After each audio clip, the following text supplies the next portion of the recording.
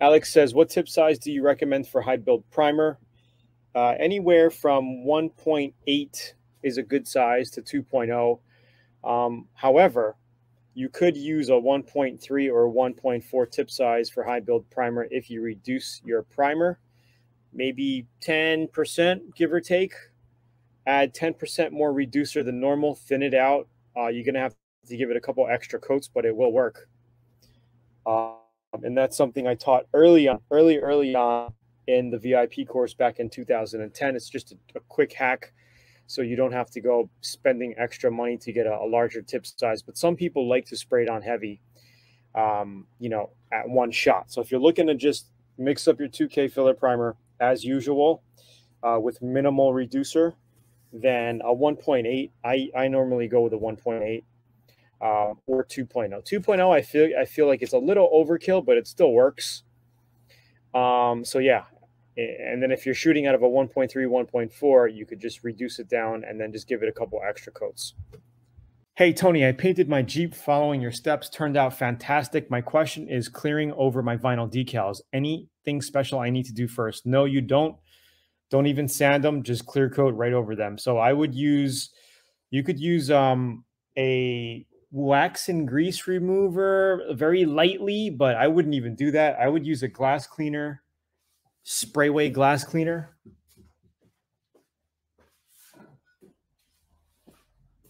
Make sure your decals are clean. Wipe it down and make sure you're using a cloth that has a very little lint. Maybe use a microfiber.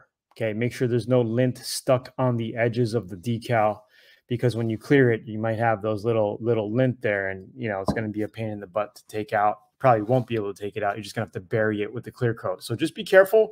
Just make sure that um, there's no lint on before clearing. That's pretty much it. Hopefully, um, and I do have VIP videos. So I'm not sure, Chris, if you're a VIP, but we we have clear coated over a lot of uh, decals in VIP. Toyota Tacoma, um, you know, decals, uh, some custom decals and motorcycles and whatnot. I mean, it just as long as it's clean, use a good glass cleaner, no lint, clear right over it. Uh, what grit sandpaper should I stop at before shooting high build primer? Alex Wheeler, I'm not sure if you're VIP. Uh, guys, I'm just going to put this link here for all you newbies just tuning in. Um, don't forget to grab your free training at learnautobodyandpaint.com. And if you want to join VIP, check out the special offer we have there uh, after you put in your email details. Super deal uh, to get access to VIP. Tons of content, over 250 hours of A to Z auto body. You're going to love it. Um, but as far as what grit to stop, you could shoot 2K filler primer over 150 grit, no problem. Okay, so 150 grit normally takes out uh, peeling paint, fading, um, you know, cracking, pretty much most paint imperfections, unless you have some hardcore surface rust, then I would use an 80, uh, then go down to 150 and then shoot a 2K filler primer. So you could shoot a 2K filler primer over 150, 220, 240, 320. I wouldn't go any finer than that. 320 is kind of like an overkill, but you need a good tooth grit for your primer to stick to. These are sand scratches, by the way, when I do this, okay? You need a good tooth grit, okay? Coarse, and then this is like ultra fine. Ultra fine is here, 150, okay? I don't know, I'm just making this up, guys. I'm, I'm making this up, but this is basically tooth grit, sand scratches, however, however you want to look at it. Um, so yeah, hopefully that helped. Atom X88. It's just a different design in the nozzle head.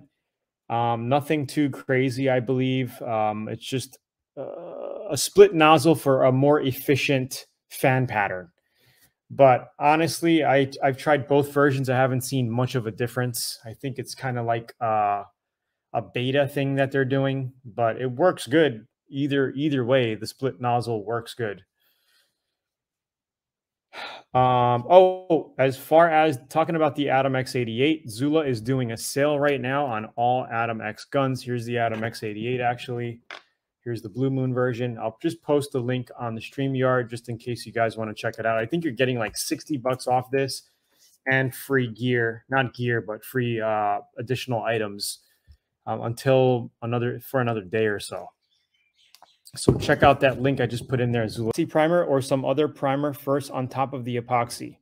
Do you like to put glaze over epoxy primer or use some other primer? Okay, so after you spray an epoxy primer, okay, it's recommended to spray a 2K filler primer on top of it right after flash. So say you let your epoxy set up for an hour, it's dried, it's cure. You can go ahead without sanding, spray your 2K filler primer on top of it. Okay. Uh, and then you could block sand that down. Um, if you have, if you still notice any dents or anything, you could grind that area and you could do your body filler on top of that also. And then, you know, respray with 2K filler primer after you shape it. Um, but if you notice any chips, um, or scratches, deep scratches that your 2K filler primer did not take out, you could definitely use a polyester putty. Um, a 1K or 2K, it doesn't matter.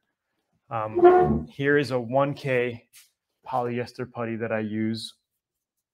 Dolphin Glaze, it's called by U-POL. Okay, and then here is a 2K, 2K glaze, which you you mix a little. It's more of like a super creamy body filler. Okay.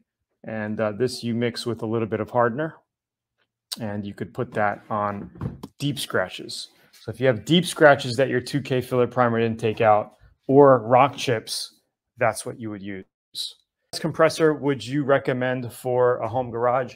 Well, if you're going to be painting anything large, I, re I recommend a at least a 60 gallon so you have enough volume. This is what I have.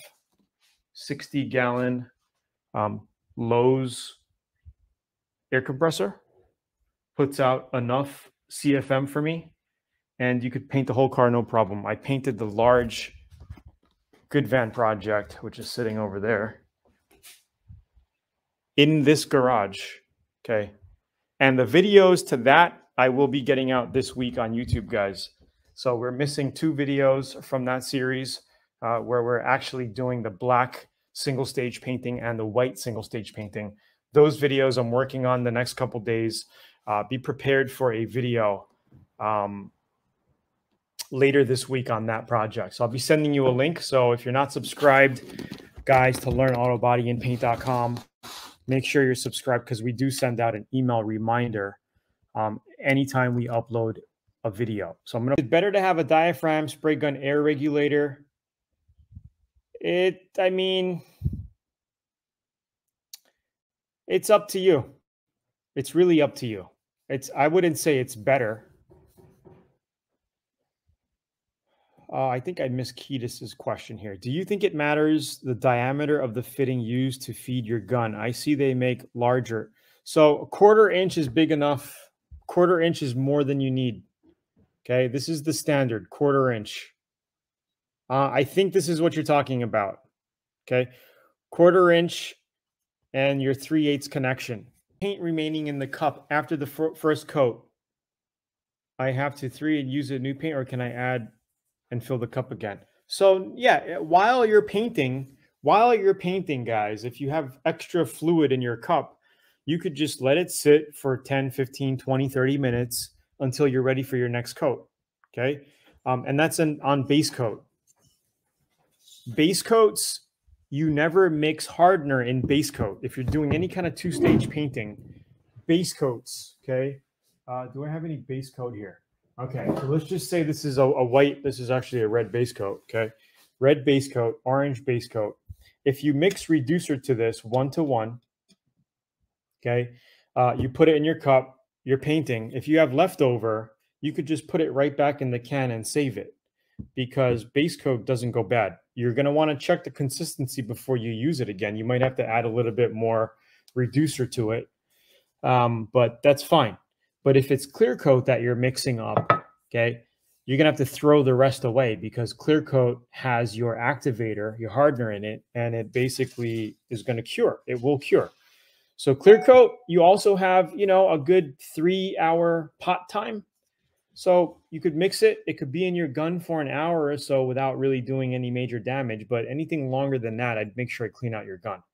Um, and and normally after you you, you paint, okay, so it only takes 25 minutes to 20 to 25 minutes to go around the car when you're clear coating, one coat of clear. Okay, give or take. So, you know, you do that, you're using the gun, you're going to want to let it sit and you're probably going to give it a 20 minute flash time.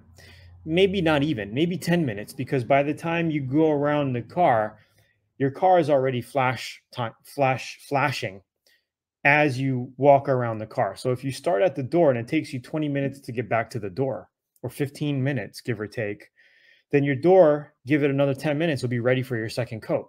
So painting, you know, it's really a consistent thing when you're painting. You're really not waiting much while you're painting. But I would suggest that when you're done painting, you're completely done, you know, and you got a little bit of clear left over, whatever, empty it out. And when you empty it, you want to squeeze your trigger. So the paint from inside the gun also comes out right? And then you clean it, take it apart and clean it. But before you take it apart, I like to just shoot my um where is my like I'll have this filled. This is a tattoo a tattoo bottle for when they put like alcohol in it and they you could just Google, you know, Google tattoo bottle, tattoo uh cleaner, whatever. Uh cleaning bottle. You know, they put the alcohol and they clean you they clean you before they do the tattoo, right? Same thing. You could put lacquer thinner in here. I just like to wash my guns out like this before I take it apart. Make sure I get that in there. So hopefully, um, hey, Tony, how do I paint the engine bay when changing colors? Very, very carefully. That's what my dad would say. But um, ideally, you'd want to take the motor out, pressure wash everything down, clean it with degreaser, pressure wash it, let it dry, and sand the hell out of it, mask it, and paint it. There's no other way to do it. Okay. If you're keeping the motor in, then pressure wash the whole thing, degrease it down, make sure you get all the grease off the firewall, you know, off the inner fenders, everything. It has to be clean. That's the number one thing. Clean it like hell. Pressure wash it two times. All right. Uh, and then for all the piping and wires, what you could do is use tin foil to mask everything up. Because with tin foil, you can just get big areas and large. You might use a roll of tin foil, but you could just foil everything up. Maybe you're going to need some masking tape for some thin wires or whatnot but do that, prime it, sand as much as you can, and paint it.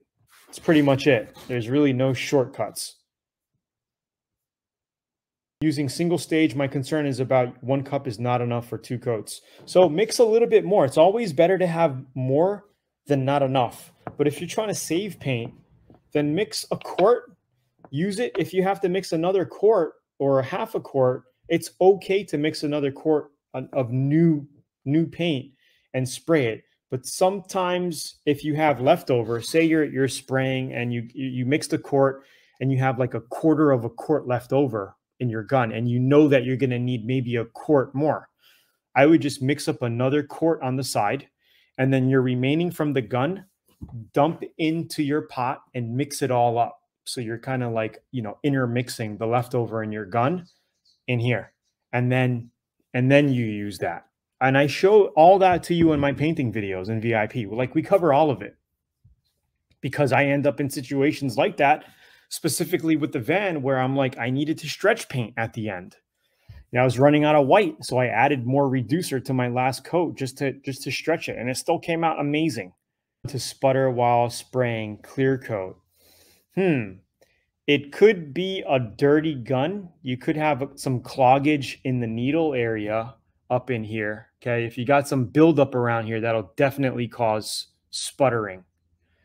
Um, so that's the number one thing I would check is cleaning, making sure your spray gun is clean.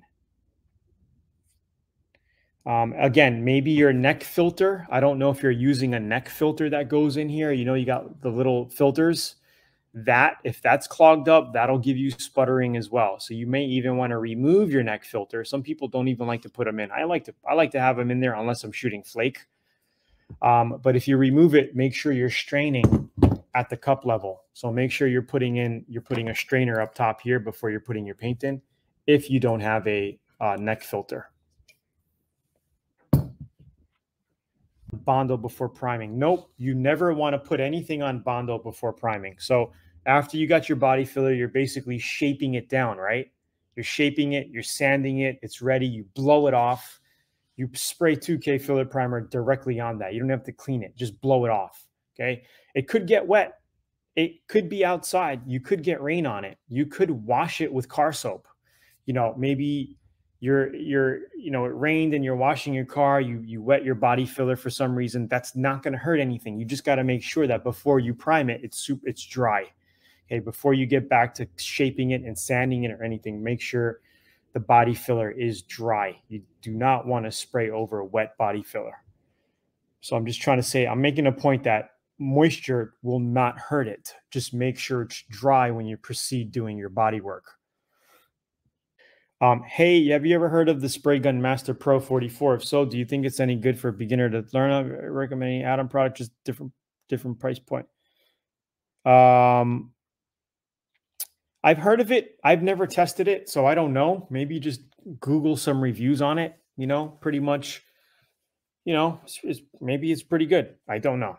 So, um, if you're looking for a a good dependable DIY gun, I would look into the X20.